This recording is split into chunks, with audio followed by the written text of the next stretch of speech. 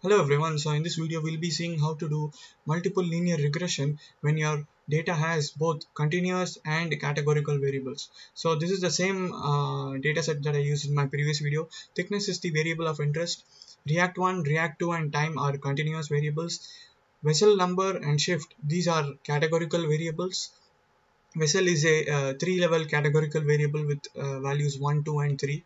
Shift is a two level categorical variable 1 and 2 are the values. So before uh, doing the uh, multiple linear regression, I'm going to explain using PowerPoint how JMP treats uh, categorical variables. So let me switch over to uh, uh, the PowerPoint. So JMP does something called effect coding behind the scenes. So in the case of shift it is a two level categorical variable so when it's doing the fitting it actually changes the values to 1 and minus 1 so uh, it changes 1 and 2 to 1 and minus 1 and uh, it uses the uh, uh the 1 and minus 1 values for uh, doing the fitting uh, and in the case of vessel number which is a three level categorical variables the values are 1 2 and 3 so it uses two two coordinates you can you can put it that way. So it changes 1 to 1 and 0 and 2 becomes 0 and 1 and 3 is uh, represented as minus 1 and 1 so it changes the uh, actual value. So in this case let's say you have a variable which has text. Uh, JMP actually does something similar. So if you have two different uh, categories then one category will be represented by a number say 0 and the other one will be represented by 1 or something like that so let me switch over to uh, JMP in order to do the multiple linear regression. So in order to do that you go to uh, analyze and then fit model. Here you choose uh, thickness as the y variable and then all the uh, continuous and categorical variables as your construct model effects and then say run uh, so here you can see that JMP has done the fitting. You can see the leverage plots and uh, you can see the effect summary which shows the summary of uh, the p-values which is uh, for for all the five variables.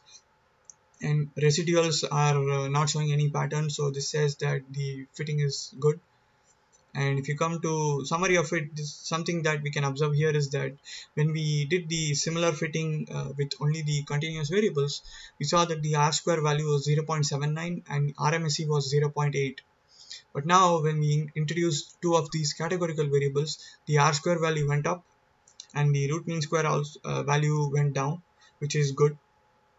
And here whenever we do uh, multiple linear regression uh, it's seen that uh, the r square value actually goes up if you increase the number of variables. Uh, so that's why uh, r square adjusted is uh, usually used uh, instead of r square when you're doing multiple linear regression. So let me switch over to PowerPoint to explain what this is.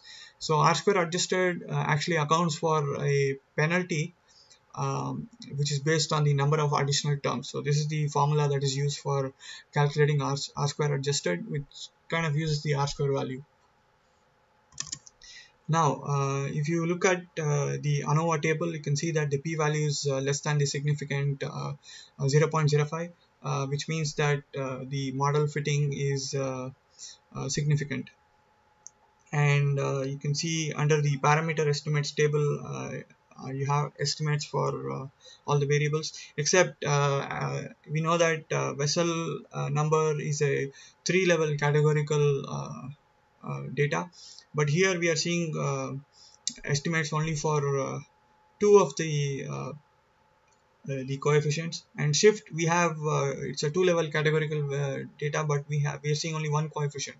This is because whenever a JMP does this effect coding some of these parameter estimates will equal to 0 for uh, each of these uh, variables.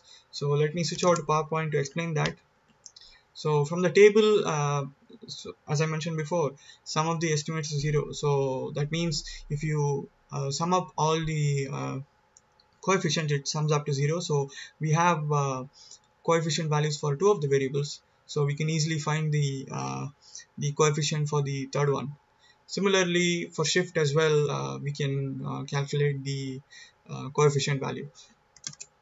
Now, um, you can also see that uh, under the effects test it's giving uh, individual p-values for each of these uh, variables and here I think when we did the multiple linear regression with only the continuous variables we did see that time was insignificant but here we kind of see that shift is also kind of insignificant.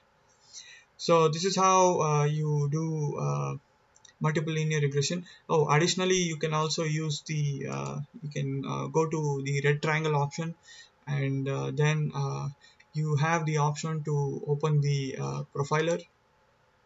So here uh, you can actually move to the prediction profiler. You, you can see that the thickness for the first reactor on average is around 8.18 for the second reactor it increases to slightly about 8.4 and for the third reactor it's uh, even more than that by 8.83 so and you can see that uh, there is a slight difference for the vessel number but when it comes to shift uh, it's not a lot of difference as you move between the vessel reactor. So this is how you can use the prediction profiler in this case and also uh, if you go to uh, the uh, the estimates uh, you can see uh, show prediction expression.